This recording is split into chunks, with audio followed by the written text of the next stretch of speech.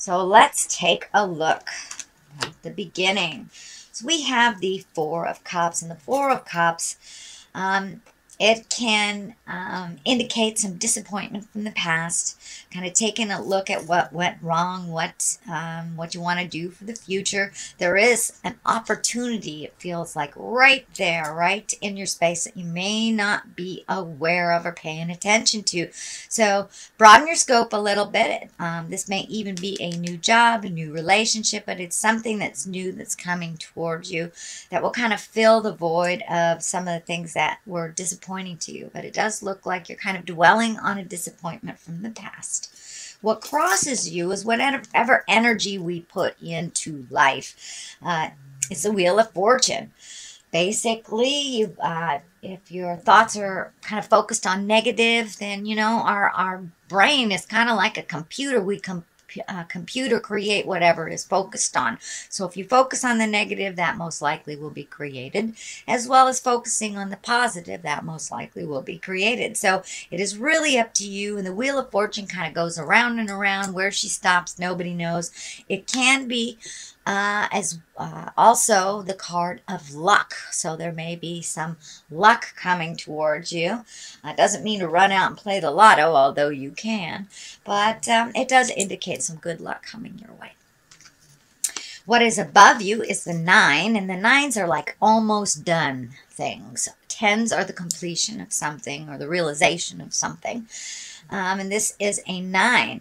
Uh, this does indicate money, um, inheritance possibly, and or it could just be getting your finances together, reorganizing them, you know, letting go of the things that are not necessarily the have to haves, and uh, really focusing on cleaning up bills and making your finances a little more more solvent. But it does look like there's a new shift, there's a new focus on either creating more money, could be finding um, a different job um, or even looking for for a job if you are not currently employed.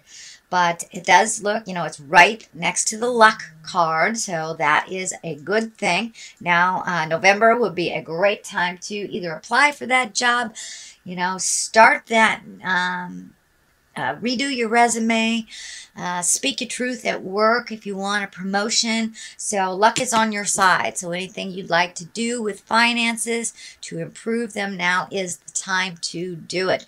This also can mean the inheritance card as well.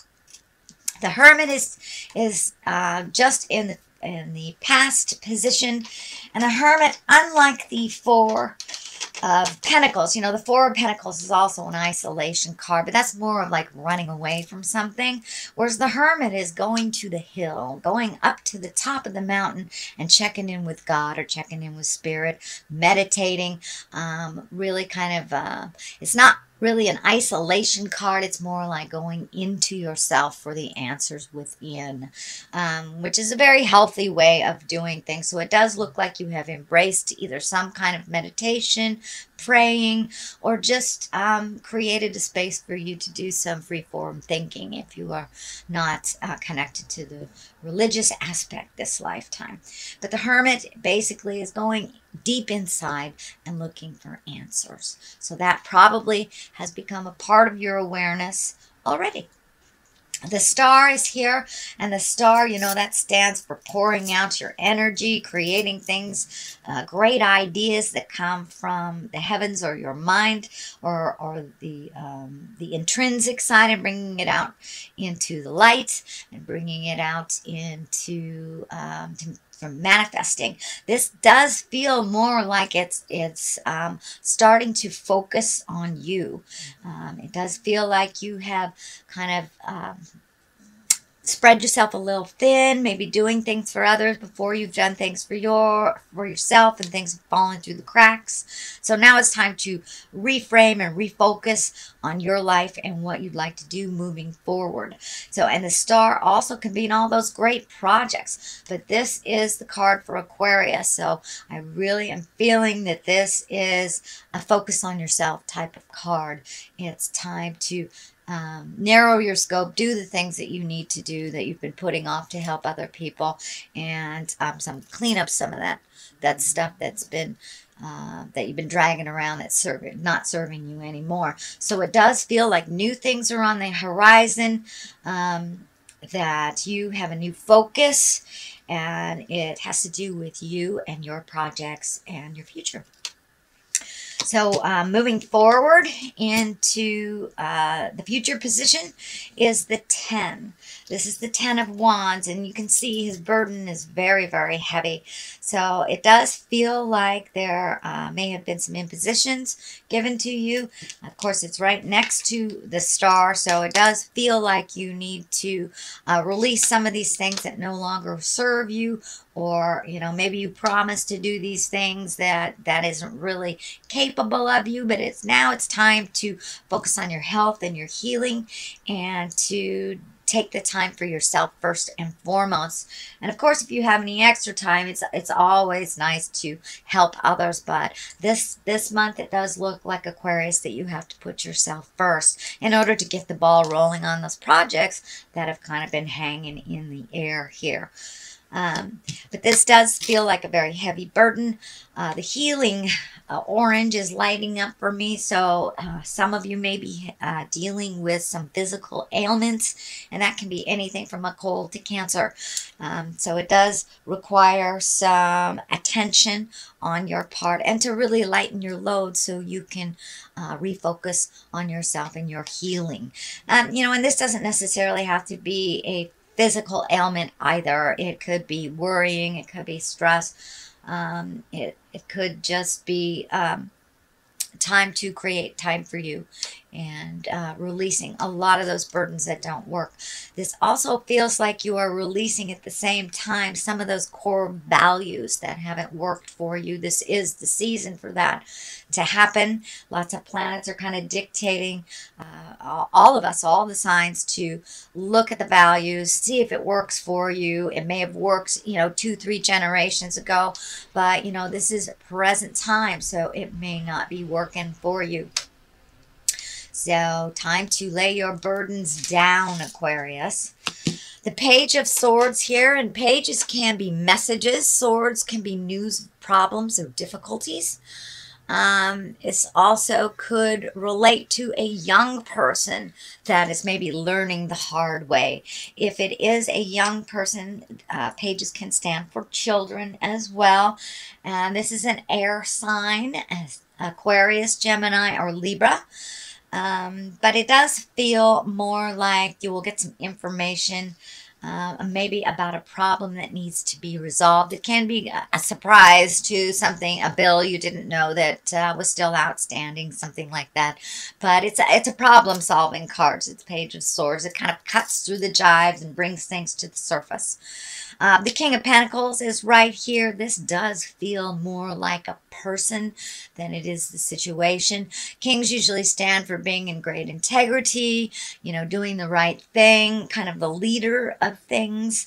Um, and the pentacles can mean money or physical things. So you may be um, aligning your integrity more to uh, being a little more fluid with your money or um, paying things on time, things like this. But if it does stand for a person, it would be an earth sign, a Capricorn, Taurus, or Virgo. Um, I don't like to uh, tag male or female onto the cards. Um, it, it does feel uh, like someone that is very helpful, um, Capricorn, Taurus, or Virgo, and someone that um, you're kind of pairing with bouncing ideas off. And it's this does feel like someone that may be a family member or someone close in the heart that has kind of never steered you wrong. And it feels like some of these new ideas um, will be bounced off of this person. It also feels like this yellow is riding uh, really lighting up for me in this in this readings. Your orange and your yellow. So it does feel like that healing has begun. Um, there is a bright day in front of you is what spirit is telling me. Um, so be exalted in your in your words um, as well as your responsibilities. Accept your part in things. Let things go that that aren't yours, um, and really refocus on you and yours, and um, checking things off the list that you've been wanting to do. But keep it in integrity. Um, And the disc here, the pentacles, really means the physical form of things, um, money, uh, physical things that you know um, you acquire cars houses things like that. So it does feel like uh, it's time to get some of that money and physical things in a little bit uh, better flow for you. Uh, the next card here is the Six of Swords, and the Six of Swords kind of de depicts it may be time to float a little bit in your personal life or your family life while you get your own stuff together. But it does look like some decisions that you uh, been been making. You may have to wait a little bit, get some more information. You know, if this is a new job or a new way of uh, of making money. Um, you may have to wait a little bit longer for um, the answer that you're looking for. Um, and it's okay to let, let other people steer the ship. It does look like you have been in control of some things for, for quite a while. So it's okay to release some of those responsibilities that are kind of group or collective responsibilities and let somebody else handle that while you just float a little bit um, and heal yourself a little further. So uh, this is uh, the four is here. You've got a lot of swords here, so it does look like um, thinking and communicating may be uh, heavy on your plate and on your mind. Um, it does feel like it's been interrupting your sleep and your creature comforts a little bit. And, you know, that can be anything from not sleeping at all and overthinking or using sleep as an escape to not deal with responsibilities and problems or depression or whatever it is, the escape is. It does feel like you are being able to resolve things one by one. Um, it, it also feels like you may not be eating correctly either, whether that's too much or not enough. Um, so see if you can relieve some of the stress. And I'm feeling spirit is kind of throwing this picture of physical exercise, walking around the block after dinner, um, validating uh, the body on some level, uh, maybe exhausting it a little bit will help you switch from the from the mental into the restful, restful or rejuvenative sleep. But it does look like your mind is going lickety split and it is interrupting your sleep. Uh, and then again, there is a possibility of kind of sleep as an escape. So be aware um, that does look like it is changing. The chariot is on one side, temperance is on the other. So really finding your balance, speaking your words, um, relieving yourself of some stress. And, you know, if you speak with um, love and kindness, you'll be able to resolve a lot of things. But it does look like you are kind of re entering a more balanced time in your life that that it looks like you've been in kind of a topsy-turvy place for maybe a month or two and now things are starting to balance out. It does feel like with this temperance card that you have been kind of looking at your own judgments and opinions on things and that is making a shift to a much more positive love-based place on the other side of this is the chariot and the chariot is also about balancing and balancing the dark and the light and being able to work through this. Um, it also can mean travel in style, upping your havingness, upping your abundance, you know, saving for something that you've always wanted to do, chasing your dreams. Uh, the medical insignia is uh, lighting up for me, so I do believe Aquarius, that you are working through either some physical or mental pain. Um, and it does feel like it's getting a little more balanced, um, getting more information, so you're be you're able to move forward with resolution in that. All right, sweet Aquarius, that is your reading for the month of November. If you like what you heard, please like, share, and subscribe. I'm going to uh, throw a couple of these Angels in Abundance cards and get some clarity on this reading. I like to throw these just as a little treat. Let's see. Ask for what ask for your needs to be met. So it does look like, you know, it's right next to this King of Pentacles. So you may have to bounce some ideas off of somebody or ask for what you need. You know, and it even says in the Bible, asking ye shall receive. So um, none of us are supposed to be doing this journey alone. None of us. We're here to help and facilitate each one of us as we are connected through spirit. The second card is let go of guilt. So whatever happened in the past that didn't um, manifest for you or manifested in a way that you did not wish, it's time to let go of that. You cannot change the past. Um, we can only kind of steer the future. So I'm going to read these and see what they have to say. God and angels can come to your aid only if you make a free will choice to be helped. And it begins with asking. It doesn't matter how you ask God for help, but only that you do so.